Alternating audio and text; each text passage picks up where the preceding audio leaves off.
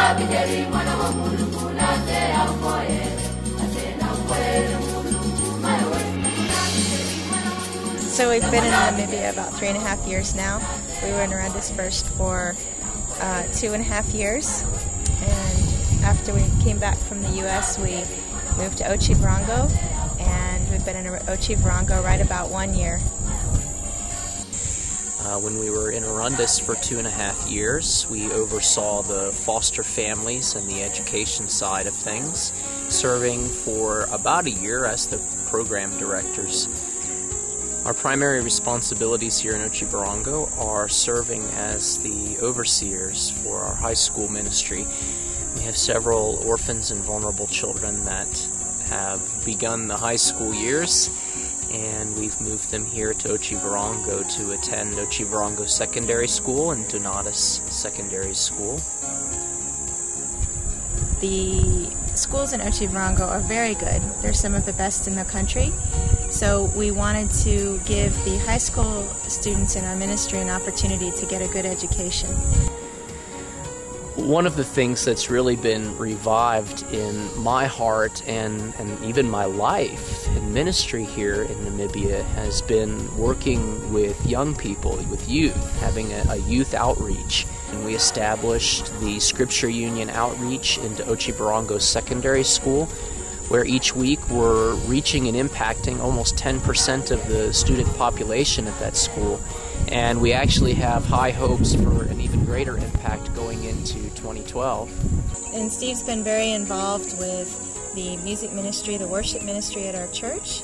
And in addition to that, he's also started a great music program where he is teaching worship type music to the community. We teach the guitar, the electric bass, the drum set, the keyboard, and vocal lessons, and helping to uh, build up the worship ministries that are here in this town.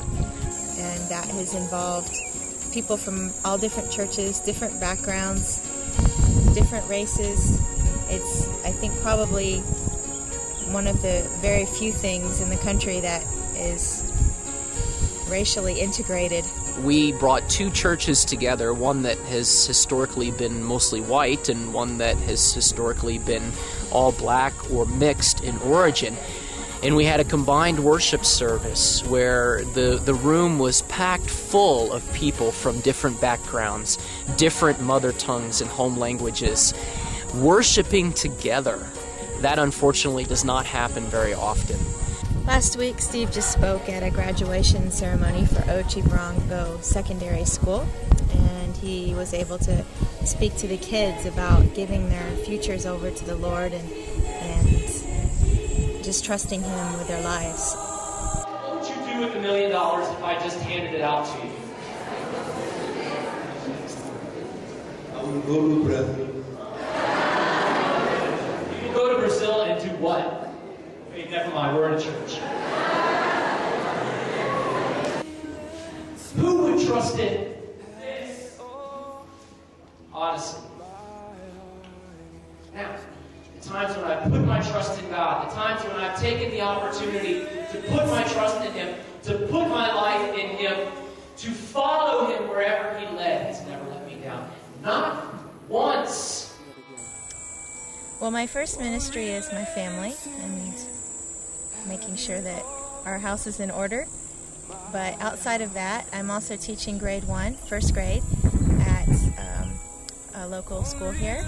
And I've really enjoyed that quite a bit, and I've learned a lot that I hope that I will be able to use also in the ministry at some future time. Uh, Karrie's also been spending time with a lot of the high schoolers in our ministry and tutoring them in their homework and prepare, helping them prepare for exams.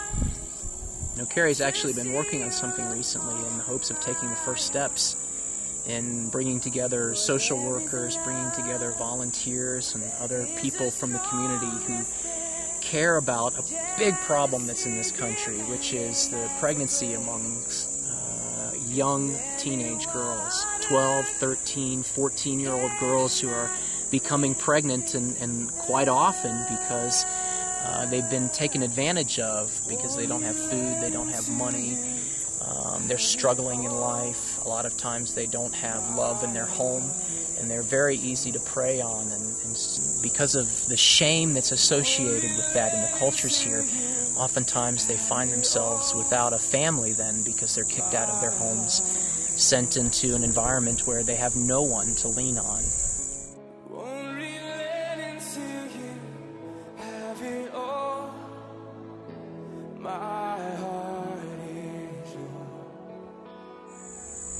I just want to say a big hello to everyone watching. To our friends and family, we love you. We thank you so much for all your support. Thank you for your giving and your prayers. You know, the Bible says that the prayers of a righteous man are powerful and effective, and I'm so glad that we've been uh, the recipients of many of your powerful and effective prayers, and we've definitely seen the fruit of that here we have found since we've been here that the devil definitely has territory here and he doesn't like us being here. But we are trusting in God and we covet your prayers, so please keep them coming. Hello. I don't know what to say, so I'm just going to stare at the camera and I've been teaching dance classes. dance has been taking up hours and hours of my life, honestly, but I like it. What what kind of dance classes? What are you doing?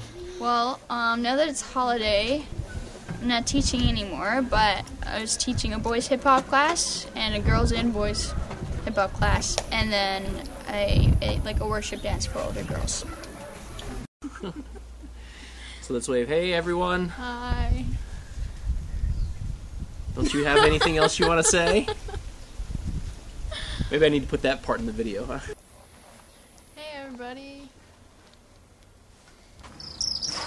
Well, people need to understand that you can love and be loved without getting or receiving. And how me as a kind of child can do that.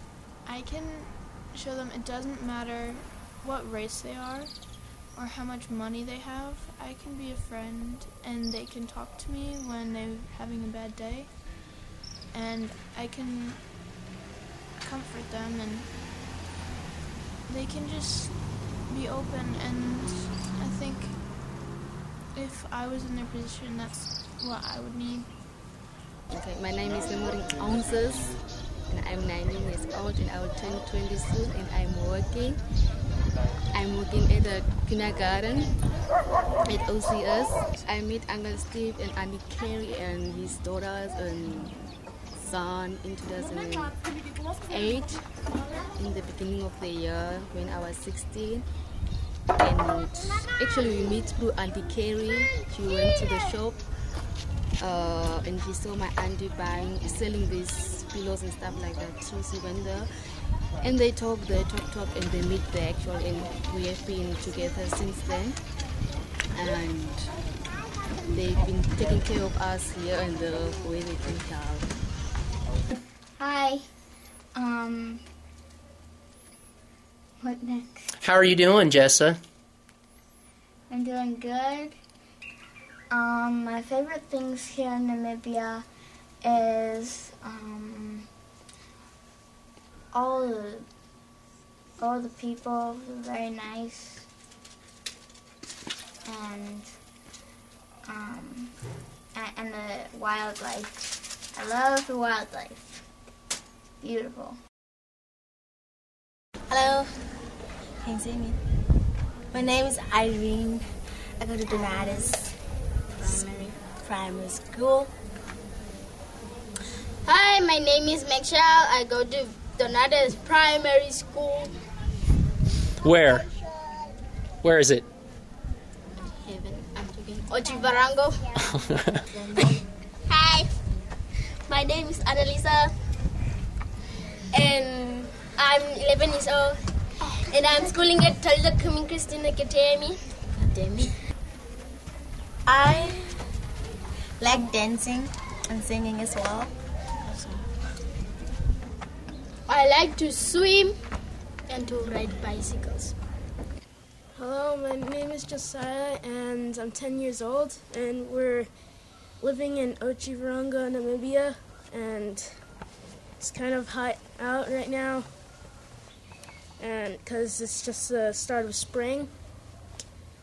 If I had my own ministry in Namibia to reach out to people, I would probably be um, starting youth groups or places with different ages of people and doing um, afternoon Bible classes on certain days of the week. Thank you very much for taking the time out to watch this video. And thank you for staying in touch with us. Thank you as well for loving us through your your prayers, your friendships, your emails, everything that you're doing. Thank you as well for your sacrificial giving, supporting us and keeping us here. And we really look forward to the next opportunity to seeing all of you when we return home, hopefully next year. Bye. See ya. Adios.